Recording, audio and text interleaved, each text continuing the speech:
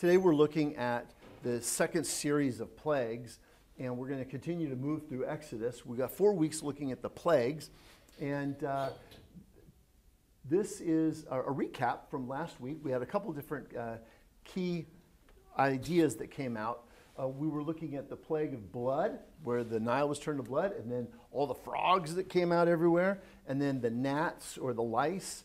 And there was a few lessons. One of them is there is real, true supernatural power, but none of it is any match for God.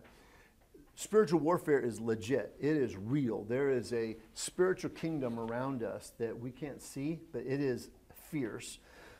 There's no one like our God, and God's power is unmatched over anything else.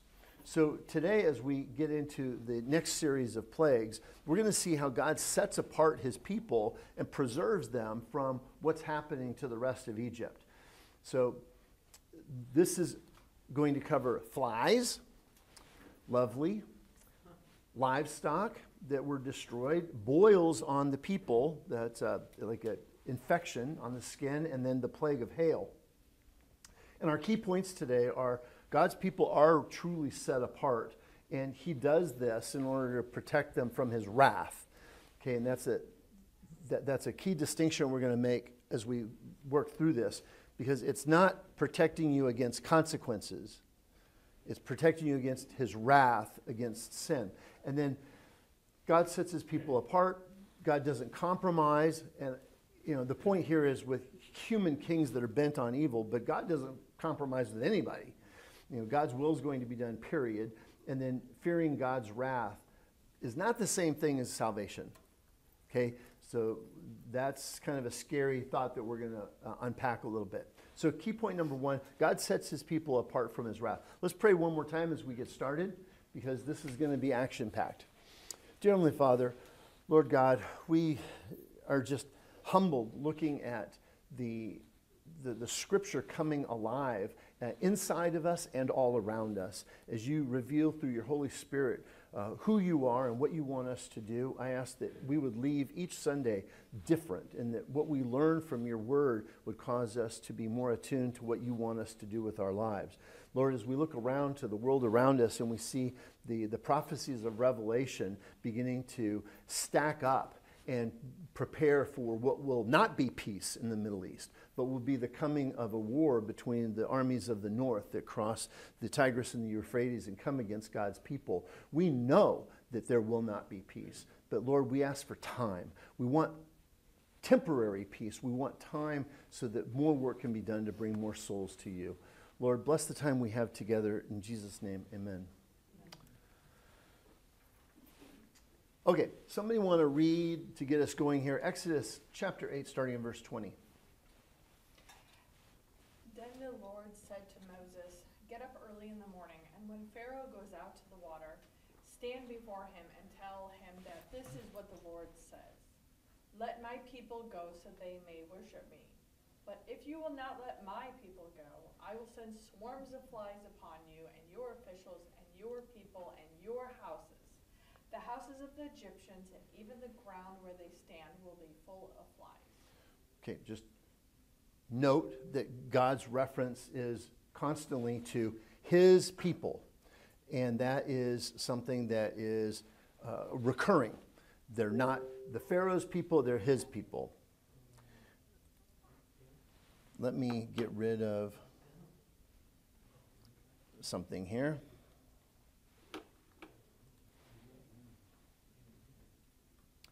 I opened up Telegram, so now it's uh, generating.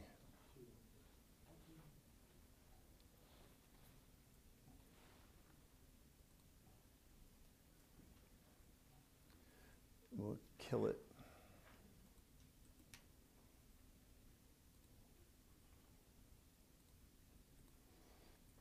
Okay, going on to the next slide.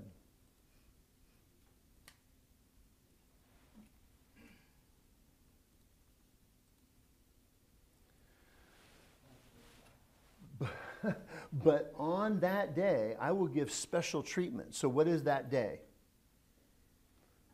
What is that day? The day the flies show up. Okay? On that day, I will give special treatment to the land of Goshen. Where's Goshen? That's the land that he gave to the Jewish people, the Israelis. Yeah. So for 400 years, the Israelites have been living in Goshen, that northern part of Egypt on the, the Nile Delta, where it's very fertile and they've got cattle and herds and goats and sheep.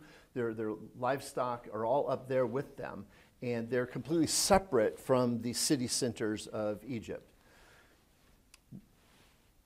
Where my people live, no swarms of flies will be found there. In this way, you'll know that I am the Lord. I am the Lord in all the land. I will make a distinction. This is now all of a sudden different from everything that's happened so far. Because the plagues, historically, so far, have affected everything, the entire land. But now God's separating his people. See, we could easily, even people do this today. Uh, historians will say, well, there was, um, there was a, a, a probably a large flood uh, of, the, of the Nile, and that uh, caused the frogs to, to, to you know, go out everywhere, and that could be explained by you know, natural phenomena. And of course, when the water receded, the frogs were stranded, and then they dried up, and then that caused the stink, and that could be explained. And then, of course, the stink brought the flies because there's rotten frogs everywhere. So this is all explainable. Okay, we, we have people that try to explain away Old Testament events like this today. So God's saying, okay, I'm going to take away all your explanations for these phenomena, and I'm going to make it so it's kind of like if you've ever been in a cloudburst where it's like raining here and it's sunny here. There's flies here and there's no flies here. So th- this is now a huge distinction. Somebody keep on reading in verse 24.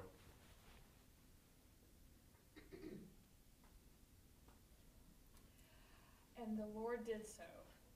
Thick swarms of flies poured into Pharaoh's palace and into the houses of his officials. Throughout Egypt, the land was ruined by swarms of flies. Okay, so we talked one time as we were getting started in Egypt about how we've got all of these different parts of this story are like a metaphor, where Pharaoh's like Satan, and Egypt is like your old life. It's your sinful past. So what's Goshen? What would that be a metaphor for? New life. Yeah, it's where it's where they were set apart. It's they're distinct there. Now, it, it, it feels like God's patience is, is running out, uh, where He's just saying, okay, I'm not going to give you a chance. If, if you don't let my people go, I'm going to you know, bring another set of plagues. Uh, why is God so patient and why is God triggered? Any thoughts or comments on that? Hint What's Pharaoh's attitude? Hmm. Who does Pharaoh think he is? God. Yeah, Yeah, yeah, yeah. Let's not forget this. In the context of what's going on, the Pharaoh's families are worshipped as deity. And all of these other gods are subservient to him. That's why he's got magicians that can control all these different things so that they can show the people that, yes, I have power. And so for, for Moses to come and say, the God of everything demands that you let my people go, Pharaoh's thinking, what are you talking about? I'm God. So, how does God keeping the Hebrews from the plague point us to something about Jesus?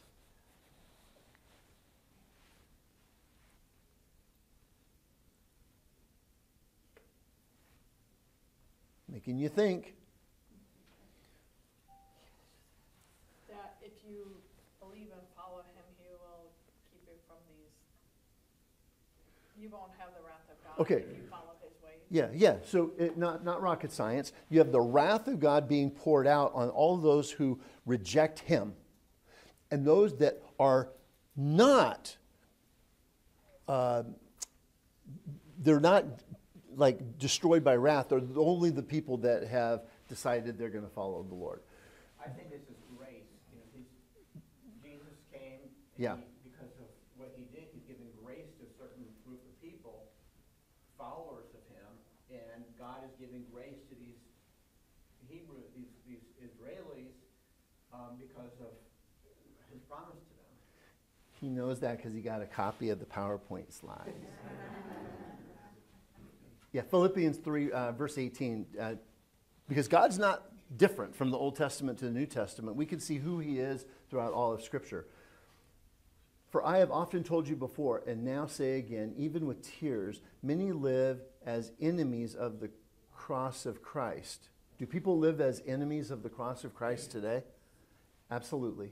And their end is destruction. Their God is their belly, and their glory is their shame. So the, the lust of the flesh, the pride of life, those are their shame. Their minds are set on earthly things. So we as Christians, we're living amongst enemies. Would you agree? Yes. Okay, we are in a foreign land. We are living amongst enemies, but we are supposed to be set apart the same way the Israelites were set apart in the land of Goshen. That's a physical separation. Today we don't have a physical separation. One day we will, but at the moment we are mixed in. Just like the Israelites were mixed in with the Egyptians in their culture, we are mixed in now. And we are living amongst enemies of God but we're citizens of heaven, according to Philippians chapter 3. Somebody read that verse from Philippians 3. But our citizenship is in heaven, and we eagerly await the Savior from there, the Lord Jesus Christ, who by the power that enables him to subject all things to himself, will transform our lowly bodies to be like his glorious body. Can't wait. Sounds great. But God proves his love for us in this. While we were still sinners, Christ died for us. One of my favorite verses in the whole Bible because there was nothing we did while we were still estranged from him. Therefore, since we've now been justified by his blood, how much more shall we be saved from wrath through him? There's this repeating theme all the way from the Old Testament, from the beginning in Exodus, all the way to the end, that we are preserved from God's wrath. So last night I thought our table was going to get into a pre-trib, mid-trib, post-trib discussion. Uh, and that's a fun conversation because you've got conservative evangelical Christians in all camps. And they can go to Scripture and they can say, yeah, we are not spared from the tribulation. Or, nope, we're going to be taken out in the middle. Or, nope, we're pre trib. I mean, it is an interesting conversation. And if you grew up believing one thing, it is super interesting to look at all the other ideas. But there's a theme that we see in Scripture continuously, and that is God preserves his people from his wrath. So if we believe the Great Tribulation in the second you know, half, the last three and a half years, is going to be God pouring out the bowls and the trumpets and the judgments on earth, where a third the uh, skies are, are darkened, the third of the stars fall, a third of the, the oceans are destroyed. That does not sound like something God is intending to pour out on his people. So it's, it's a theme we see that this world is the enemy's kingdom. Satan is the prince of this world, according to John 12 31. Okay, so let's take this down to kind of some application. Uh, why do you think it's important to talk to people about God's wrath? Because we're all accountable before God. But, but, but why don't we just share the love of Jesus? Why do we have to talk about this stuff? Hell and wrath and punishment. Kind of like a parent. Okay, explain.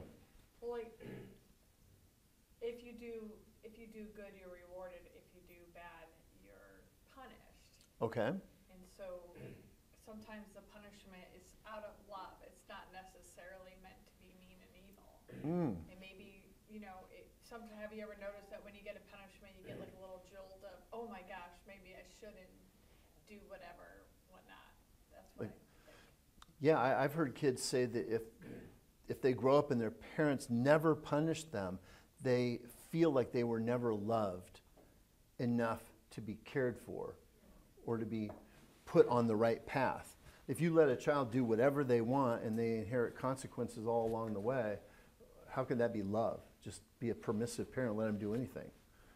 Um, but we're not talking about just guidance and correction. We're talking about the wrath of God, where it is an end unto permanent destruction, separation from God forever. Why is it important to talk about that? Well, you know, it's like, you know,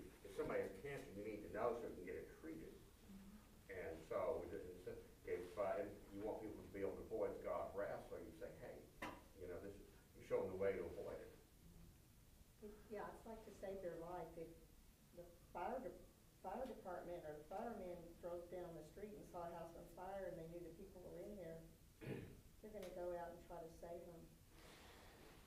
I had, I had somebody challenge me one time to, to, to think about all the people around us. Go to the shopping mall, go, you know, any public place.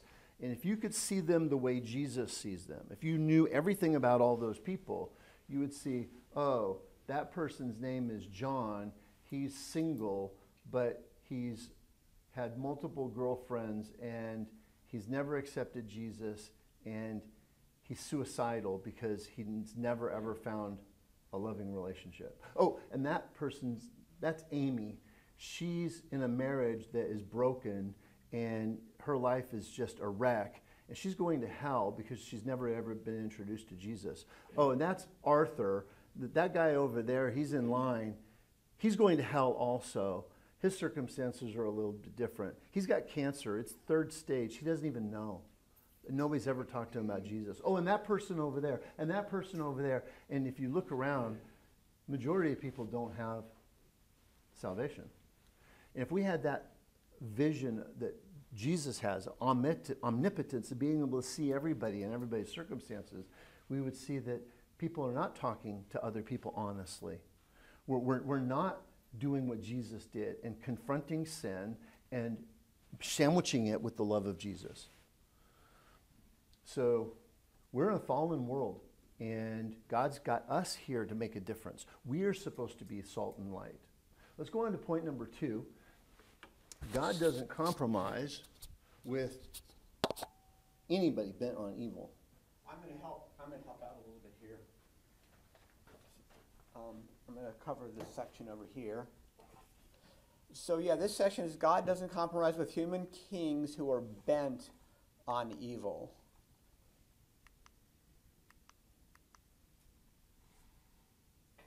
Am I hitting, oh, oh, there we go. All right, so who wants to read this verse over here? Let's see. The key point here is God doesn't compromise with human kings who are bent on evil. Exodus 8:25. Um, the next couple of verses in there, starting at 25 through 26. Who wants to read that? Go ahead. Then Pharaoh summoned Moses and Aaron said, Go, sacrifice to your God within this land. But Moses replied, It would not be right to do that, because the sacrifices we offer to the Lord our God would be detestable to the Egyptians. If we offer sacrifices that are detestable before the Egyptians, will they not? All right, great, thank you. So, you know, this is actually Pharaoh's first attempt. You know, mm. he, they've, they've gone through all these different plagues, you know, the, the, you know, the flies and the blood, you know, the, uh, Moses and all these things. And finally, you know, Pharaoh's finally starting to think about, well, I've got to do something. You know, he can't, he can't put up, something has to be done. So he decides to throw out kind of a compromise to Moses, permitting the people to offer sacrifices to their God within this land. And it wasn't so much the idea that the Jews were offering sacrifice that would have been offensive to the Egyptians, because Moses objects to that. He says, you know, this is not going to be tolerable. You have to remember that the sacrifices of these people were, were bulls and lambs, and that was detestable. For one thing, the Egyptians had a god. They had many, many gods, and one of their gods were bulls. So that would have been really, really offensive. Sheep and bulls, that would have been off limits as far as the Egyptian people. They would have thrown a temper tantrum and they would have really stoned these people for doing that. So that was off limits. And that's why Moses said, hey, that's not going to work. So who wants to read the next couple of verses over here, um, 27 and 28? We must make a three-day journey into the wilderness and sacrifice to the Lord our God as he commands us. Pharaoh answered, I will let you go and sacrifice to the Lord your God in the wilderness, but you must not go very far. Now pray for me. All right, great. So Pharaoh goes a little bit further. So first, you know, the first compromise was, you know, you could worship. Now he's saying you could go a little bit further, and allows them to sacrifice to the Lord in the wilderness, but still falls well short of what God is demanding. Right? You could do this just as long as I still have control. This is as long as you don't go too far, um, but I'm not going to release you. You're still going to be my slaves, but we'll give you a little bit of lenience over here, um, and and that would be fine. So he he offers a little bit of compromise, just as long as he maintains control. And then he asks Moses to intercede for him in prayer. And the reason he does that is he's at the point right now that he recognizes that his music, magicians and all his advisors are not going to be able to stop this. There's nothing he could do. That nothing that anybody on his team is going to be able to do to stop these plagues and to stop what Moses is doing to, theirs, to, to them. So he, he does recognize that. Um, he's beginning to recognize that Yahweh um, is a God. It may not necessarily be Pharaoh's God, but he's recognizing and he's finally recognizing that Yahweh has uh, some a tremendous amount of power, and um, he's willing to make some compromises to be able to, to deal with that. Okay, who wants to read Exodus 29, please? As soon as I leave you, Moses said, I will pray to the Lord so that tomorrow the swarms of flies will depart from Pharaoh and his officials and his people. But Pharaoh must not act deceitfully again by refusing to let the people go and sacrifice to the Lord. Okay, great, thank you. So Moses agrees to pray to the Lord to remove the flies, and he also warns Pharaoh. He says, Don't be deceitful and go back on your word. So, what do you think Pharaoh's going to do? Do you think he's going to be faithful to what he says? How many people believe that? I don't think Moses believed it either. So, we know that that's not going to happen. So, let's see what happens next. So, then it says, and this is a short a couple of verses here. Then Moses left Pharaoh and prayed to the Lord, and the Lord did as Moses requested. He removed the swarms of flies from Pharaoh and his officials and the people and his people. No one, no, not one fly remained. But then it says, as we could expect, Pharaoh hardened his heart, and this time as well, and he would not let the people go. So Moses, he upholds his part of the bargain, right? He says, I'll pray for you. He prays for him, and God is faithful. Not one, all those flies, not one little fly. I wish I could pray and have, I have a fly problem in my backyard, especially in the summer. I wish I could pray and, and get rid of all the flies. That would be great. They come in my my kitchen, it's really annoying. That'd be great if God would eliminate every single fly, but he did that for Pharaoh. So Pharaoh should have been really, really grateful, um, but he wasn't, and he does not keep his word. Uh, so who wants to read the next couple of verses? This is chapter 9 now, 1 and 1 and this, I guess, verse 1.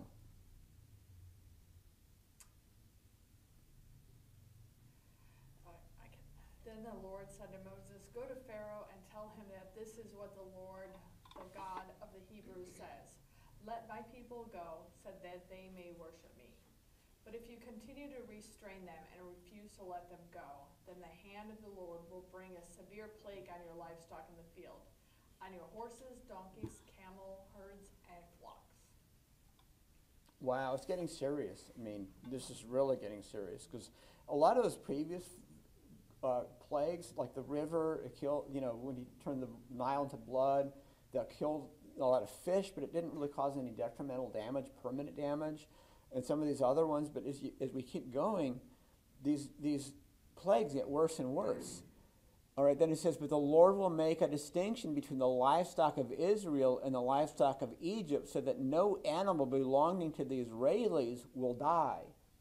We have that, what we're talking about earlier, that separation, that grace that he's giving to the Israelis, but that's not available to Pharaoh and the Egyptians because he's hardened, their leaders hardened their hearts.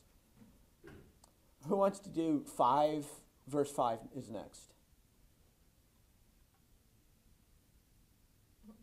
Who hasn't read before? Go, go for it. The Lord set a time, saying, Tomorrow the Lord will do this in the land. And the next day the Lord did just that.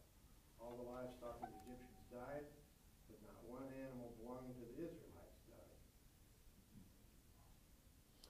All right, great. So, you know, they're talking about the livestock, and that symbolism in here is really, really important. If you were living in Egypt and, you know, the livestock, one that's economically that's critical, but the fifth plague um, is very potent because many of Egypt's gods and goddesses were depicted as livestock. So he's really mocking their gods. You know, there's this god called Buchis. That's a sacred bull, and that and he was worshipped. Sometimes bulls were considered to embody the gods of uh, Ptah and Ra, but the chief bull, his name was Apis. So you have this chief bull who had a name called Apis, and at the temple in Memphis, priests would maintain a sacred enclosure where they would they kept um, a live bull, and they considered that the incarnation of this god, this bull god called Apis. So that's what they really believed. Um, when the vulnerable, let me see something here. I'm not sure. A little more. There we go. When the vulnerable died, he was given an elaborate burial. Archaeologists have discovered they found these funeral niches for hundreds of these bulls near Memphis. You've got funeral, you've got cemeteries where you've got hundreds and hundreds of these bulls that were worshipped. Um, so you know, so really, there's this. So there's a lot of things that they that they really really believed. So this whole thing about the livestock was really really um, a big thing for the people of Egypt, not only economically but also spiritually as well. All right, verse seven. Who wants to do seven? Pharaoh sent officials and found that none of the livestock of the Israelites had died. But Pharaoh's heart was hardened, and he would not let the people go. Could you imagine how how upset he must have been? All my livestock are dead, and and then you have these people that are causing all this. Theirs is alive. He must have been just enraged. That he must have been just furious with that. And I think probably that anger. I, I imagine this is just my speculation that he must have been really angry about that, uh, because you know he, where's his God? Why can't my gods take on his god? So probably a lot of jealousy. Uh, so the plagues go from bad for, to worse. The first plague killed the fish and harmed the harvest. The next two, the frogs and the gnats, seemed to come and go. That didn't really have a permanent effect. But with the flies, you know, the text tells that the land was ruined. The flies were devastating. It ruined the land. And then the fifth plague really hit hard. All their livestock, you know, was, was a lot, of, you know, was, would died. You know, if they, if there was a provision where if they kept the, the livestock indoors or sheltered, it would live. So there was some that survived. It, it, it didn't kill every single piece of livestock, but it killed a lot of them. Yet Pharaoh still, after all that, was his heart was remained hardened. He still would not yield. It hasn't affected him personally yet. Yeah, that's a great point. It hasn't. Yeah, yeah. His people, Mm-hmm. and it's not until the sons are, Mm-hmm. that Exactly. finally sees, oh. So kind of, When the people got the boils, did, it, did it stay on them permanently, do you think? Or did it ever go away? I think probably when he prayed, it probably Oh, eventually went away. I would assume. Yeah, I, I hope so. um, so, who wants to read verse six, please? Verse six. Go for it. Then the Lord said to Moses and Aaron, Take handfuls of soot from the furnace in the sight of Pharaoh. Moses is to toss it into the air. It will become fine dust over all the land of Egypt, and festering boils will break out on man and beast throughout the land. Wow, this is pretty devastating. So they took the suit from the furnace and stood before Pharaoh. Moses tossed it into the air, and festered boils broke out on man and beast. It was everybody. The magicians could not stand before Moses because the boils had broken out on them and all of the Egyptians. But the Lord hardened Pharaoh's heart, and he would not listen to them, just as the Lord had said to Moses. God knows our hearts. He knows the beginning from the end. He knows what's going to happen. You can't hide anything from God. Um, so the sixth plague is a little bit different. So it's delivered, this time it's delivered without any kind of warning being given to Pharaoh. and it also involves dust becoming a pestilence. So, you know, God figures, look, this guy's constantly hardening his heart. I'm not going to give him a warning. He's had enough warnings. This is, you know, this is it. However, this time the Lord did not have Aaron strike the dust with his staff. That's different. He ordered Moses to grab a handful of dust from, the, from a kern and toss it into the air, which then became boils upon both man and, and beast. So it seems kind of likely that the suit came from the very kerns that the Israelis used to make bricks for the Egyptians. So God is issuing a very just judgment. The Egyptians had broken um, and blistered the skin off the Israelis. I mean, they beat them, you know, with rods. They whip them with bricks. So this is like, you know, you know, the Bible says, you know, vengeance is mine. I'm the Lord. It tells us, don't, don't you take vengeance. There's going to be a certain point in time where I will carry out justice, and that's what God is doing in this situation. He's He's being just, um, and they're suffering the consequences. Um, so here's a couple questions. How did Pharaoh try to compromise with God? How did Pharaoh try to compromise with God?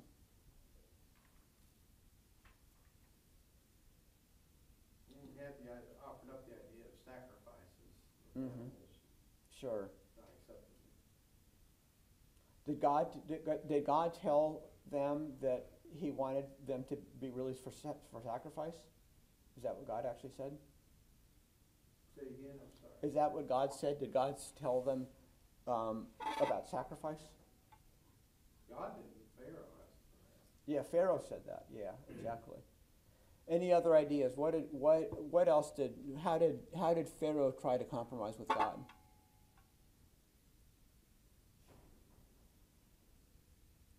I think you got it. I mean, he just he said, okay, you know, a couple a couple things. One is he said you could sacrifice, you know, for three days, you know, in Egypt and outside of Egypt. That was really about it. Um, so then Pharaoh called for Moses and Aaron, and said, Go sacrifice to your God in the land. So Pharaoh said, I will let you go. Wait, did I go the wrong? Okay. I went the wrong way, sorry. In what ways does the word try to convince you to negotiate with evil? Does the world?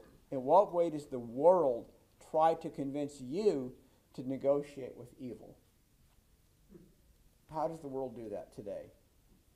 That was then, that was Pharaoh. This is today. How does God how does how do they do that today? TV, listen to the radio. It's mm-hmm. Yeah. Well, I think he attacks our weaknesses, right? Everyone has certain vulnerabilities, right? My what I'm vulnerable to might be different from someone else, right? So God really strikes us where we're weak. Some people might, you know, feel free with discourage, you know, struggle with discouragement. Other with alcoholism. Others with porn. There's all kinds of things that we we're vulnerable to. That's why this thing over here, you know, life recovery is something to really consider, you know, getting involved in, in because we all have vulnerabilities, and we all we're all susceptible. So God will, Satan will tempt us, and the world will tempt us in any multitude of different ways. Um, but the thing of it is, God wanted to set them free to worship Him, and for Pharaoh, it's all about you know, for you know, for him personally, it was really about control, and he was he, he wanted political power, he wanted slaves, he wanted authority over the, over the slaves. Um, so that's that was a huge thing for for, for him, and for other people, control might be a big temptation for some people. How can believers practically walk through the battles that come our way? How could we walk through the battles that come our way? What do you guys think on that?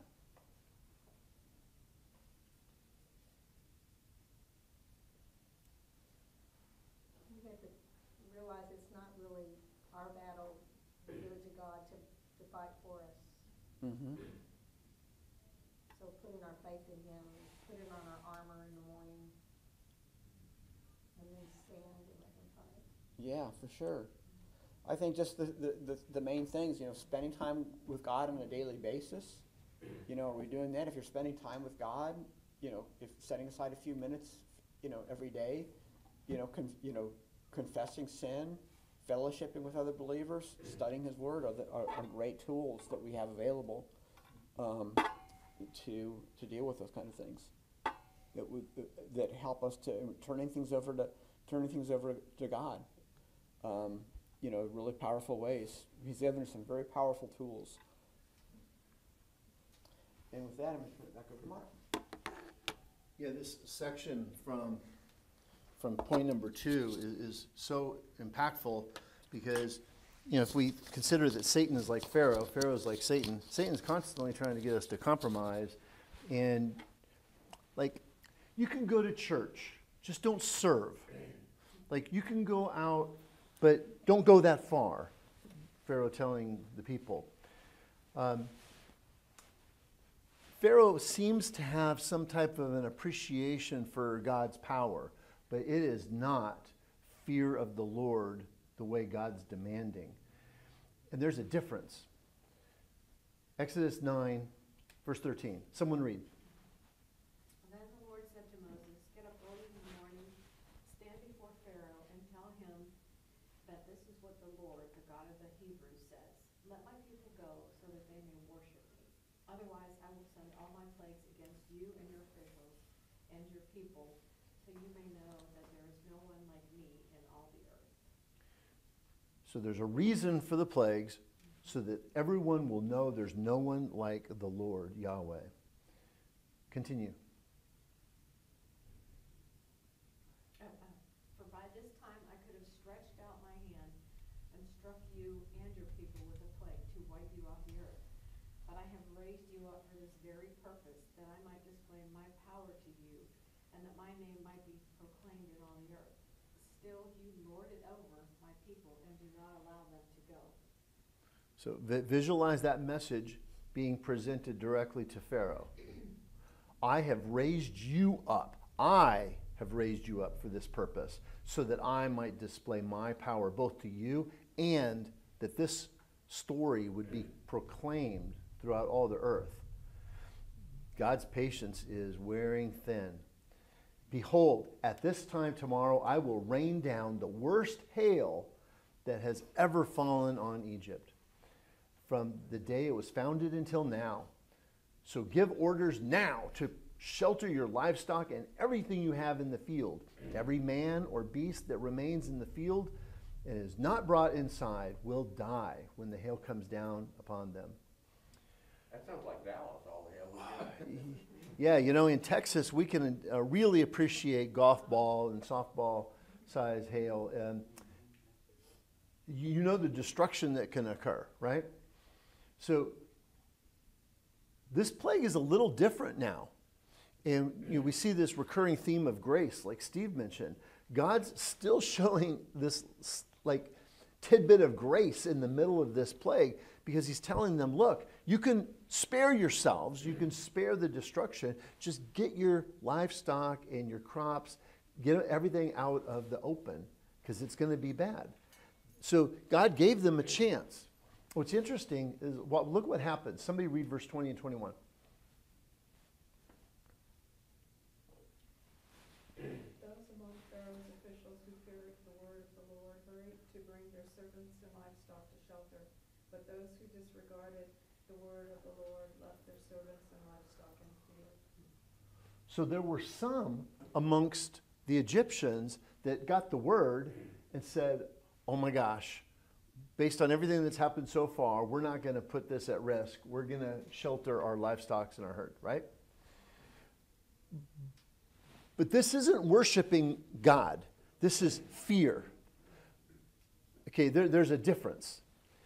Then the Lord said to Moses, Stretch out your hand toward heaven so that hail may fall on all the land of Egypt, on man and beast, and every plant in the field throughout the land of Egypt. So Moses stretched out his staff toward heaven, and the Lord sent thunder and hail, and lightning struck the earth, so that the Lord rained down hail upon the land of Egypt. So, again, this is impacting everything. The hail fell, and the lightning continued flashing through it. The hail was so severe that nothing like it had ever been seen in all the land of Egypt from the time it became a nation. So we can only imagine how extraordinary that would have been if you'd never ever seen hail before. Someone continue reading. Throughout the land of Egypt, the hail struck down everything in the field, both man and beast. It beat down every plant of the field and uh, stripped every tree. The only place where it did not hail was in the land of Goshen, where the Israelis lived. So once again, we've got the Israelites being spared from God's wrath, and it separates them. It creates this huge distinction. Someone continue. Then Pharaoh summoned Moses and Aaron. This time I have seen, he said, the Lord is righteous, and I and my people are wicked. Pray to the Lord, for there has been enough of God's thunder and hail. I will let you go, and do not need to stay any longer. And what do you think the, that Moses thought when Pharaoh said, Okay, this time I have sinned. The Lord's righteous and my people are wicked. What do you think Moses was thinking? I don't trust them. Yeah, right. Moses said to him, When I have left the city, I will spread out my hands to the Lord, and the thunder will cease, and there will be no more hail, so that you will know that the earth is the Lord's. But as for you and your officials, I know that you still do not fear the Lord our God. we could talk a whole Sunday about just this concept of fear. What did Pharaoh fear? The destruction of what? yeah, more destruction. Was that the same as the fear and reverence of a holy and almighty God? No. So Pharaoh's just operating lip, lip service. He's wanting to get what he wants. He just wants the hail to stop. And that does not mean that he's actively changing his heart before the Lord. So, this is an interesting parenthetical phrase that comes in in the next verse. Now, the flax and the barley were destroyed since the barley was ripe and the flax was in bloom. So, some of the crops were destroyed that were already growing, but the wheat and the smel- spelt were not destroyed because they are late crops. So, again, God demonstrates grace for this group of people in that He didn't destroy all of their livelihood, only the plants that were already growing, but everything else that was in the ground and still in germination phase because it was a late crop, that was all protected. So, grace again. In, in, interesting to see God's absolute uh, vengeance and his anger and his wrath, but at the same time, this grace. And a lot of times when we read this story, we don't see both sides of that. Then Moses departed from Pharaoh and went out of the city and spread out his hands to the Lord. The thunder and the hail ceased, and the rain no longer poured down on the land. Someone finish reading this. When Pharaoh saw that the rain and hail and thunder had ceased, he sinned again and hardened his heart and his officials. So Pharaoh's heart was hardened, and he would not let the Israelites go, just as the Lord had said through Moses. So, didn't the Lord say, Moses, I'm telling you, Pharaoh's heart's going to be hard. He's not going to let him go, right? So, do you think Moses is surprised every time this happens? He's probably thinking, gosh, Pharaoh's kind of expletive, just crazy. Um, none of this took Moses by surprise. But more importantly, it didn't take God by surprise either. Okay? God knows what's going on. God told Moses everything that was going to happen from the very beginning. Remember a few weeks ago at the burning bush? Everything was laid out. It was like a full chapter full, of instructions on what was going to happen. Hello? God knows everything that's going to happen, even when there's tragedy, destruction, terrible events in your life and the life of people around you. God knows. So, how do these plagues identify the difference between those who feared the Lord and those who did not truly fear the Lord? How did the plagues show the distinction? Actions speak louder than words. Okay, so you have a behavior that is different, and then God's response to it is different. He spares one group his wrath, The other group gets the wrath, but he still shows grace in the midst of it all. How, does, how did Moses know that Pharaoh didn't really fear the Lord? How did he know? Just from his past decisions and behavior, he was, he had a hard heart towards God. There's no sign at all of his willingness to, um, to follow God at all. Okay. Pharaoh's got a pattern. He's got a history of lying and deceitfulness and not um, following through on his word. The Bible says that the fear of the Lord is the beginning of wisdom. How? Why? Why, why is the fear of the Lord the beginning of wisdom? Because humans, humanity in and of ourselves will never be able to figure it out. We'll always go in the wrong direction. There's so many examples of this. You know, you have, you know, human wisdom makes people think there's multiple gods, that you have these bulls that are really gods. They believe in fake gods, and they set up these images, and they say this is God. And then they believe that men could become sports, just is endless. So, so can we agree there's a difference between being afraid of what God might do to you versus having a fear and respect and reverence for the Lord God? Yeah? Okay. So are there more people who love, respect, and fear the Lord God Almighty? Or are there more people who just fear what God might do to them? The latter.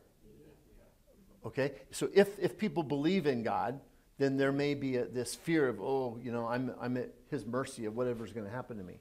You ask people, you know, just, hey, do you believe in the afterlife? You know, where are you going to go when you die? Boy, that opens up all kinds of stuff. And people frequently say, hey, I don't know what's going to happen, but, you know, I hope I go to the right place. They don't have confidence and they don't know. They just know that their destiny may be in the hands of an angry God. And that's their perception. So, how do you talk to people who need salvation when you've got this story of God is a God of wrath, but God is also a God of grace and mercy also? How, how do you share that with people? Do you just do the hellfire and brimstone message? Or do you just share, you know, seeker sensitive stuff? I share like life's things and how he's done to bless me in my life, even though I'm not sinless. Letting them know like I had this going on, but then because of God, me having Okay, so use a personal story. yeah, not too you know Okay? personal, but nothing. Somebody else. Can we separate these two messages? And I don't, and the method that we use in our team, we give the bad news and then the good news. The bad news, sin separates us from God, can't get into heaven without asking for forgiveness. Then we give the good news, God provided a way so we wouldn't have to go to hell, because we do mention the word hell in the bad news. Yeah? That sin separates us from God, and the opposite of being with him is hell. Permanent separation. Yeah. Um, And then we give the good news, and we say that God provided a way so you wouldn't have to go to hell.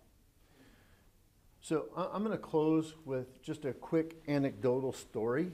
Um, I, I get to watch my daughter Paige, who has this gift of evangelism also, and she just talks to everybody, like in the parking lot at Walmart and in the, the store shopping line at Kroger. I mean, everywhere. And um, we've had on our prayer list um, a gentleman to pray for, a coworker of hers. Uh, let me introduce you to Eric. Uh, pretty dark dude. Um, a very difficult past, and uh, Paige has been very direct with him. You've got eternal separation from the Lord if you don't accept Christ. If you do, you have grace and mercy, salvation, and everything to gain. Hello? And it's not sugar coated. It is, this is the reality. This is the reality. And he, he seemed to have- be listening and paying attention, and over time, he was kind of impressed that Paige didn't just have a story, she lived it with her, her, her attitude and her, her actions. And, and that was getting to him because her, her personal testimony was echoing her statements. And um, he, he quit, and she kind of lost track of where he went. And then she got this message just a couple days ago, literally a couple days ago. Paige, I just want to thank you for shining his light. Not sure if you remember my skate church friend. He's referring to a, a guy by the name of Blade, who's an evangelist to skater dudes. He goes around to skateboard parks and preaches the gospel to kids and young adults that would never ever hear otherwise. Um, but he literally showed up during one of the darkest times of my life when I was getting ready to give up and get back on heroin. This was about two weeks ago. Blade shows up and he decided he was going to stay at my house with me since Monday. Before he leaves, we're going to have a little ceremony at a park where I'm going to rededicate my life to Christ. Again, I thank you for always being an example of his love. It stuck with me more than you could know. So she did her part, and then God used this other guy to step in when he was at rock bottom. We don't know how our testimony is impacting other people. You have the truth. Time is short. Let's go back to the very first few minutes of this conversation. We are seeing revelation set up for the end of days right now. Time is short. Let's make the most of it. Dear Heavenly Father, Lord, we come to you and ask that you would convict us through your Holy Spirit of the things that we need to change in our own lives, that we would be willing to be useful vessels in your hands, that we would be moldable and used for your purposes and intentions. Lord, we want to receive the blessing that comes from being used by you in other people's lives. Lord, we want to take this truth of wrath and grace and take it to the world. Lord God, I ask that we would be open to see those opportunities around us with family and friends, and that we would be different again when we leave here today. Bless the rest of our time together, our lunch, our fellowship, and our worship time. In Jesus' name, amen.